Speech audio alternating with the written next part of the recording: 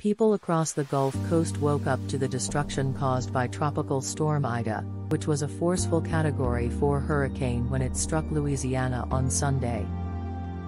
By Monday morning, Ida continued moving north, thrashing parts of Mississippi, Alabama and Florida with high winds, heavy rain and the threat of tornadoes. The storm left down trees and power lines and millions of people without electricity, including the entire city of New Orleans, slowing search and rescue efforts. The Orleans Parish 911 Emergency Call Center experienced service outages. Officials said New Orleans was better prepared for a major storm than it was in 2005, when Hurricane Katrina devastated the coastal city. Still, they are bracing for a lengthy recovery from what Louisiana Governor John Bel Edwards called one of the strongest storms to make landfall in modern times. At least one person is known to have died from Ida, but officials said Monday that they expected the death toll to rise throughout the day. Edwards, in an interview with NBC's Today Show on Monday, said he expected the number of fatalities to increase considerably. I don't want to tell you what I'm hearing, because what I'm hearing points to a lot more than that.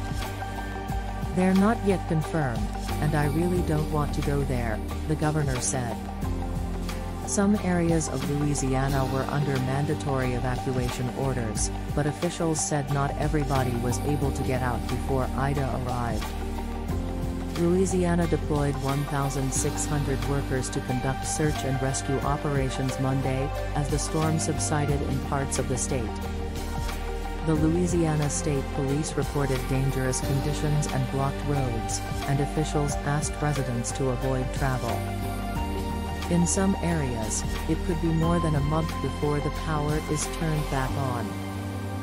Jefferson Parish Emergency Management Director Joe Valiente told NPR it will take at least six weeks to restore electricity to a large section of Louisiana's coast.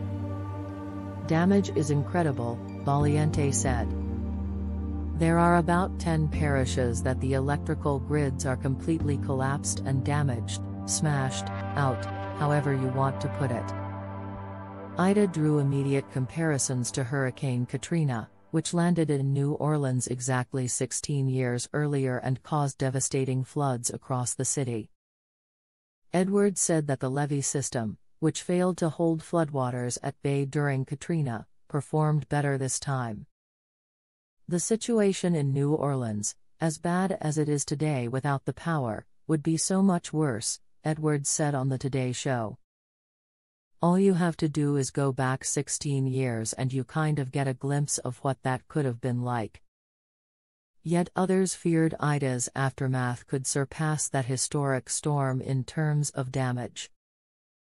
It's going to be worse for the area that I work in, because Katrina took a turn and it hit toward Mississippi more than it hit over here, Marcel Rodriguez, the police chief of in the town of Jean Lafitte, told WWNO on Sunday.